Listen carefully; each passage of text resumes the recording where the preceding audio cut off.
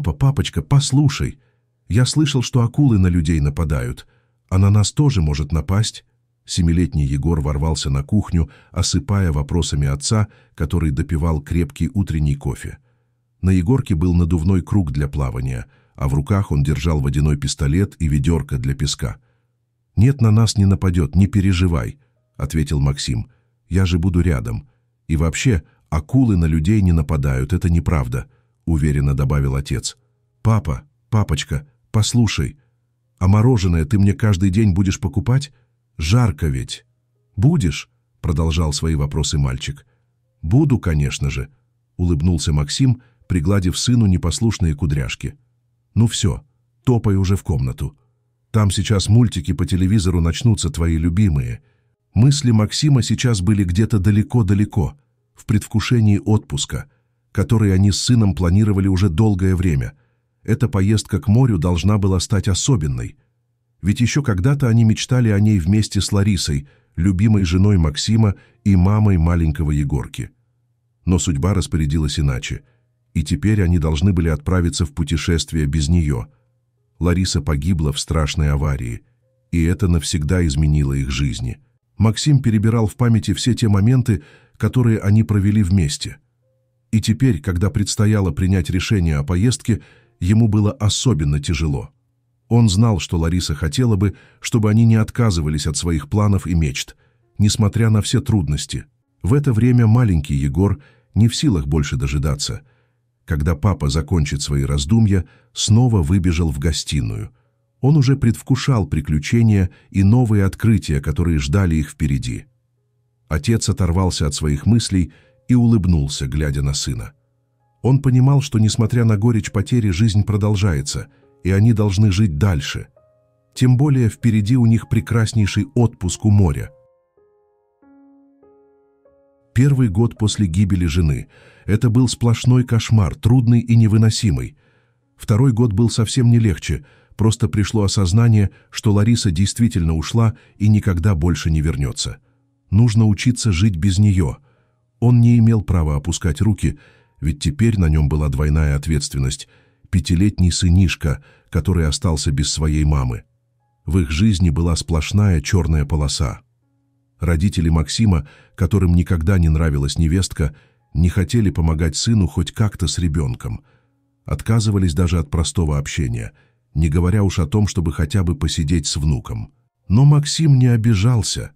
Он видел, какая непростая ситуация была в их семье, поэтому старался не копить в себе обиды, а просто отпускать их. С отцом и матерью он созванивался, но в гости к себе не приглашал, поскольку они всегда отвечали неизменным отказом. Однако своих родителей он любил, несмотря ни на что. И в глубине души еще надеялся, что когда-то их сердца станут не такими холодными. И они примут Егорку, как и полагается любящим бабушке и дедушке, и они все вместе будут ходить гулять в парк, кормить голубей, есть вкусное мороженое.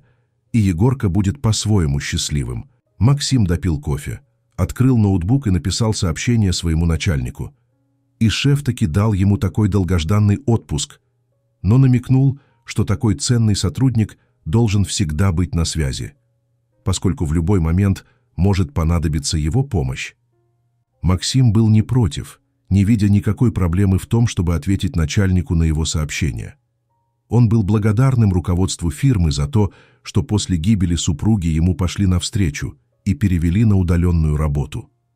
Благодаря этому он мог сам позаботиться о сыне, не обращаясь к услугам няни.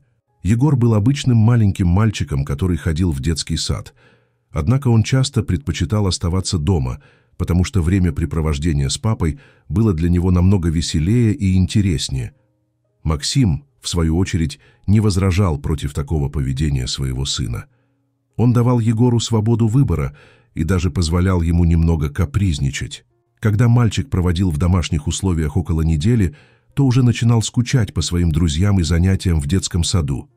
Тогда Егор сам начинал проситься обратно в садик, и после этого он спокойно ходил туда на протяжении месяца или двух, и так продолжалось по кругу. Неделя дома с папой, а затем несколько месяцев в детском саду. Такая система устраивала и мальчика, и его отца. Егор чувствовал себя счастливым и уверенным, зная, что может выбирать, где и с кем проводить свое время, а Максим лишь радовался, видя, как его сын учится принимать решения и находить баланс между домом и детским садом. Их самолет вылетал из аэропорта после обеда, поэтому у отца и сына было достаточно времени, чтобы спокойно собраться, не торопясь. Максим взял на себя ответственность за проверку того, что все необходимое было упаковано. Он аккуратно сложил вещи сына, однако решил дать маленькому Егорке возможность самому выбрать личные предметы, которые могли бы понадобиться ему в поездке. И затем упаковать их в его любимый маленький рюкзак. Это был хороший способ научить мальчика самостоятельности и ответственности. После того, как все было готово и проверено, они закрыли дверь квартиры, оставив за собой обыденную жизнь, и отправились навстречу новым приключениям. Впереди их ждали не только новые места, но и время, проведенное вместе, что было особенно ценно для обоих. «Ой, а я чуть не пропустила, как вы уехали». Возле подъезда к ним навстречу шла соседка Ирина. Максим вызвал такси, а Егорка побежал к тете Ире и обнял ее за ноги. Она ласково потрепала малыша за волосы. «Ну что, малыш, готов к путешествию и новым впечатлениям?» «Конечно, готов. Еще как готов». Мальчик даже начал прыгать от нетерпения и волнения. «Тетя Ира, а ты с нами разве не полетишь? Пожалуйста, давай с нами», — умоляюще смотрел он на молодую женщину. «Егорка, да я бы с радостью с вами полетела. Но ведь мне на работу нужно, отпуск еще не скоро», — ответила соседка. А затем взглянула на Максима и встретилась с ним взглядом. Конечно, он не звал ее с собой. Да и зачем? Кто она им такая? Просто соседка и бывшая воспитательница Егора. Хорошо вам отдохнуть. А ты, Егорка, слушайся папу и накупайся там, чтобы на целый год хватило. Ирина улыбнулась после сказанного. «Спасибо, Ира», — сказал ей тихо Максим. «Ты на нас столько времени тратишь и помогаешь. Пожалуйста, Максим». «Мне совсем не сложно», — слегка наигранно смутилась Ира. Молодая и красивая девушка, недавно окончившая педагогический институт, устроилась на работу в тот же детский сад, который посещал маленький Егор. Но их знакомство началось задолго до этого. Несколько лет назад, когда она еще была студенткой, судьба привела ее в тот же дом, где жила семья Егора. У девушки тогда умерла бабушка, оставив ей в наследство уютную двухкомнатную квартиру. Именно туда она и переехала, начав новую главу своей жизни. Вскоре и подружилась с соседями, особенно с Ларисой, женой Максима. Они быстро нашли общий язык и стали близкими подругами, делясь друг с другом радостями и трудностями жизни. «Папа, машина уже приехала!» — радостно воскликнул мальчик, нетерпеливо пританцовывая. «Все, Ира, нам пора!» Максим уложил сумки в багажник, а сына пристегнул в детском кресле. «Пока, тетя Ира, я тебе ракушек привезу и камушков разных красивых. Егор помахал тете Ире рукой на прощание. «Счастливого вам отдыха!» — помахала в ответ Ирина. Такси уехало, и Ира с замиранием сердца следила за ними, пока машина совсем не скрылась из виду. Ее взгляд задумчиво затуманился, а из глубины души вырвался тяжелый вздох. В ее сердце царили смешанные чувства — радость за близких и одновременно тревога за их благополучие — она искренне радовалась, что отец с сыном наконец-то смогли выбраться на долгожданный отдых к морю. В последние месяцы их семья пережила много горя и испытаний. Но теперь казалось, что раны начали медленно заживать. Ира думала о том, как важно поддерживать друг друга в трудные времена.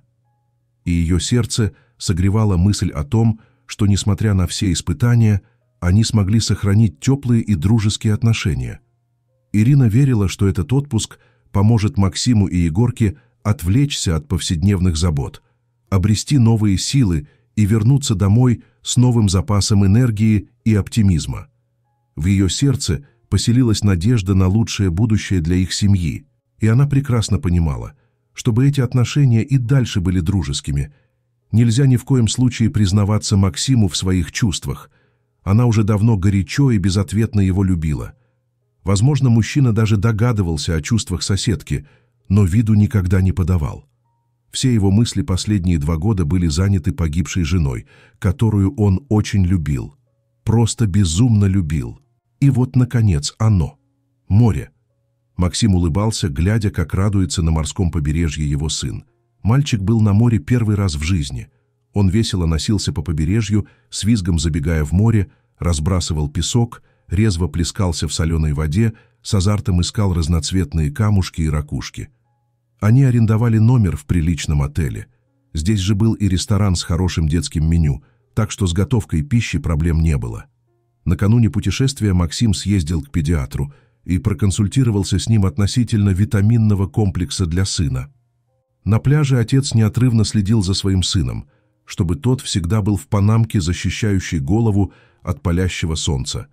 Отец с сыном купались, загорали и даже успели покататься на красивой яхте с парусами. Сынишка был просто на седьмом небе от счастья. Сегодня Максим с азартом рассказывал о дельфинах, которые обитают в морских глубинах. Егор с восторгом впитывал каждое слово отца, с открытым ртом слушая истории о загадочных морских созданиях. В его глазах загорался огонек мечты, и он страстно хотел увидеть дельфинов собственными глазами.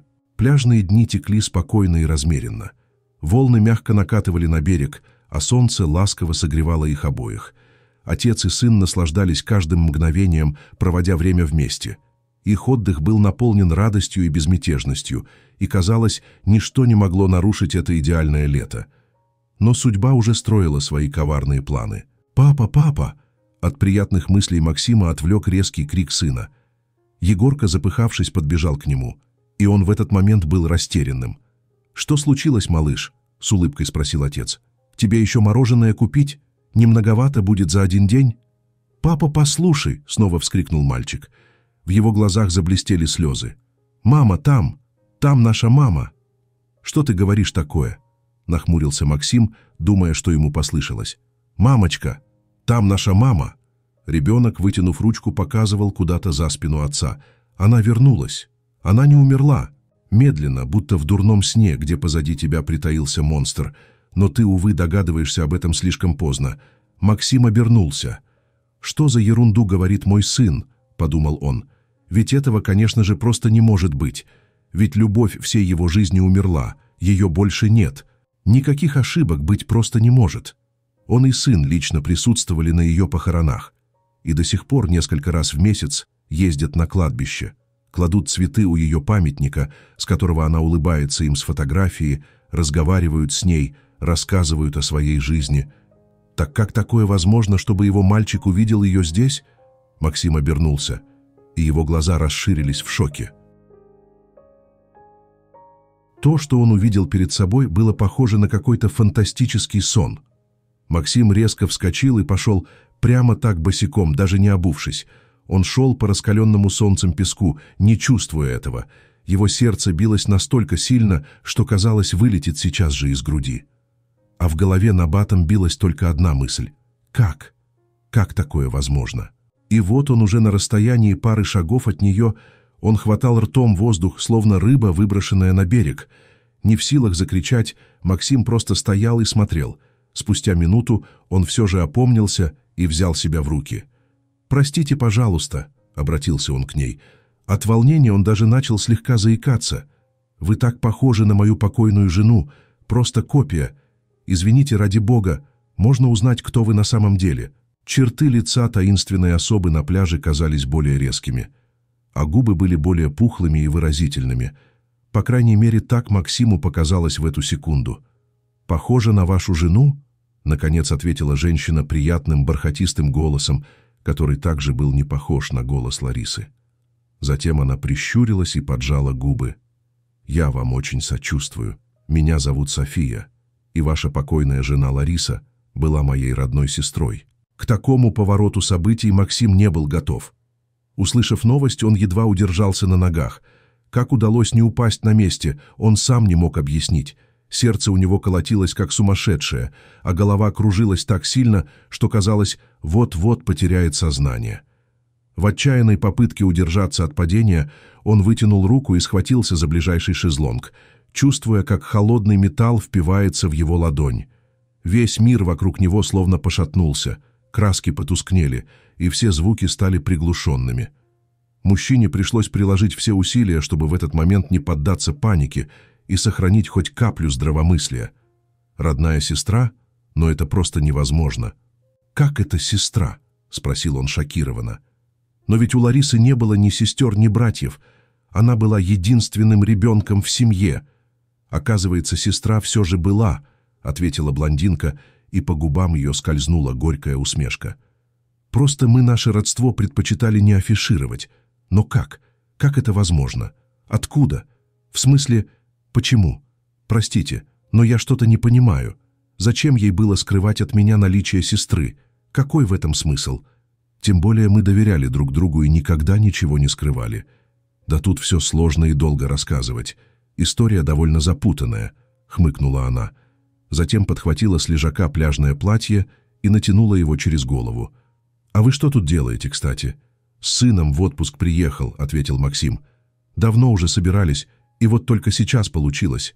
И тут вдруг он осознал, что Егорки рядом нет. Когда он шел к Соне, мальчика оставил без присмотра. Никогда такого безобразия, как упустить своего ребенка из виду вне дома или детского садика, не позволял, но сейчас позволил. И Максим бы успел страшно испугаться, если бы прямо сейчас не понял, что Егор уже подошел к ним. Тихонько так — Егор незаметно приблизился. И просто замер на месте, смотрел внимательно и пронзительно. И хотя мальчик еще ничего не сказал, но Максим точно знал, сынок уже понял, что обознался. Он боялся того, что может произойти дальше. Ведь это очередное разочарование для ребенка. Мальчик так хотел верить в чудо и что мама может быть живой. «Нет, вы не моя мама», как в подтверждение его мыслей сказал ребенок. «Нет, малыш, ты обознался. Я просто похожа на твою маму», — вздохнула Соня. «Так вы хотите поговорить со мной?» — повернулась она к Максиму. «Наверное, придется таки все нам обсудить и рассказать вам некоторые подробности жизни Ларисы, о которых вы совсем не знаете». Они направились в сторону пляжа, где совсем рядом оказалось уютное кафе. Максим и его сын Егор решили остановиться там — Сначала отец думал отвезти сына в отель, чтобы обсудить важные вопросы наедине, но затем он передумал. Егор уже был достаточно взрослым, чтобы понимать сложности жизни. Тем более после смерти матери, по мнению отца, сын стал еще более зрелым и способным воспринимать серьезные темы. И вот они сидели напротив друг друга за столиком в кафе, где слышался шум прибоя и крики чаек – Максим чувствовал, что предстоящий разговор будет непростым. Он знал, что должен быть честным с сыном, несмотря на сложность обсуждаемых вопросов. В глазах Максима читалась тревога. Но вместе с тем и уверенность, что его сын сможет справиться с правдой, какой бы тяжелой она ни была. «Наверное, я начну первая», — прервала тишину Соня. «Я вам все расскажу, а вы потом, если останутся какие-то вопросы, можете задать их мне. Я отвечу на все, что вас интересует». Эти события произошли давно, более 30 лет назад. И вот два любящих друг друга человека, проведя вместе пять лет в браке, вдруг осознали, что их яркие чувства куда-то испарились, а любви в паре больше просто нет. После долгих размышлений и разговоров они приняли непростое решение – развестись. На тот момент у них было две маленькие дочери, которым не исполнилось и трех лет. В процессе развода случилось нечто неожиданное – муж и жена решили разделить девочек. Одна осталась жить с мамой, а другая с папой. Мать Людмила вместе с дочерью уехала далеко в другой город, оставив прежнюю жизнь позади. А отец с Соней остался в их родном городе, уютно расположенном у самого моря. Время текло, словно песок сквозь пальцы, и девочки подрастали. Судьбы их развивались отдельно друг от друга, каждая шла своим путем, не зная, что готовит им будущее. Родители не думали о том, что сестрам нужно общаться, не способствовали этому, по сути, не поддерживали родственные отношения, но и не препятствовали общению дочерей. Иногда девчонки созванивались, писали друг другу письма, но это было редко. Два раза за все время они даже встречались в родном городе Софии. Тогда Люда с дочкой Ларисой приезжали на несколько недель в их родной город, и они с Соней ходили купаться на море, ловили креветки, встречали закат, плескаясь в соленых волнах. Но прошло время, общение становилось все реже, и постепенно сошло на нет. Спустя время они стали абсолютно чужими, желания общаться и встречаться у них больше не было. Но Соня знала, что ее сестра вышла замуж и что у нее есть сын. Знала, что Лариса безумно счастлива в браке. Слышала это от отца, по крайней мере. Сама же Соня до сих пор так и не вышла замуж и не родила ребенка. Она много работала и полностью посвятила себя карьере. И строить свою личную жизнь пока не торопилась. Несхожесть сестер обнаруживалась и в сфере профессиональной деятельности. Соня стала успешным врачом-косметологом, у нее было много клиентов, отличная репутация. А Лариса работала в бухгалтерской конторе, любила заниматься документацией и отчетами. София не приехала провести сестру в последний путь – просто не посчитала нужным. Максим с тяжелым сердцем слушал исповедь этой молодой красивой женщины, которая была удивительно похожа на его жену, и в то же время была совершенно другой. Да у него просто в голове не укладывалось, как такое возможно. И почему молчала не только жена, но и пока жива была теща. Что касается других родственников, которые могли поведать ему об этой семейной тайне, то их просто не было – поскольку мать Ларисы воспитывалась в детском доме, а после развода с мужем уехала далеко из родного города, в котором так и не сложилась ее супружеская жизнь. А с друзьями все связи были разорваны, она полностью прекратила общение с мужем и их общими знакомыми. «Надеюсь», — прибавила в конце своего повествования София, «вы не собираетесь мне читать нотации?» Мол, почему не приехала после смерти сестры, почему никогда не интересовалась ее жизнью? «Нет, не буду», — тихо сказал Максим, все еще пытаясь осознать услышанное. «Я понимаю, что вы же как бы и не были обязаны этого делать. Ваше общение с сестрой давно прервалось. Она даже никогда не рассказывала, что у нее есть сестра. Но неужели вам никогда не было интересно еще раз увидеться с сестрой, познакомиться с племянником, возобновить общение во взрослой жизни? Ведь это родная душа. Не знаю даже, что вы обо мне подумаете, но все-таки отвечу честно — нет у меня такого желания. И никогда не возникало. Как, впрочем, и у нее тоже. Иначе бы в нашей жизни было все по-другому. Ей уже предъявить нечего, но и я не чувствую своей вины. Так уж сложилась наша жизнь. Грустно улыбнулась Соня. Но раз так распорядилась судьба, что мы встретились с вами здесь, на этом морском побережье, я думаю, что это неспроста. И если думаете, что этому мальчику, на этих словах пальцем указала на Егора, Пойдет это на пользу, то можем куда-то сходить, пообщаться, узнать друг о друге больше. Ну, даже не знаю, куда сейчас дети ходят. На аттракционы. Или в зоопарк, может быть. «Думаю, это неплохая идея», — ответил Максим. Но ему было нужно время, чтобы осознать, что в его жизни появилась эта женщина, удивительно похожая на его жену. Они еще какое-то время пообщались. Максим еще спросил об отце Ларисы и расстроился, услышав, что он уже давно умер от болезни сердца. От сердечной недостаточности умерла и их мать. Как же так, подумал он, что за злая насмешка судьбы, что оба этих человека, которые когда-то были несчастливыми супругами, вот так равно, буквально один за другим ушли из жизни и оба от сердечных приступов? И кто знает, что могло случиться, если бы родители сестер оставались живыми до сих пор? Может быть, еще бы прошло немного времени, и они бы наконец поняли, как это все неправильно. Вот так разделяться семье. И они наверняка нашли бы в себе силы, если и не начать все сначала, то хотя бы начать сближаться или встречаться. Как знать? Одно точно ясно, что в этой семейной истории судьба точно заигралась в свои бессердечные игры –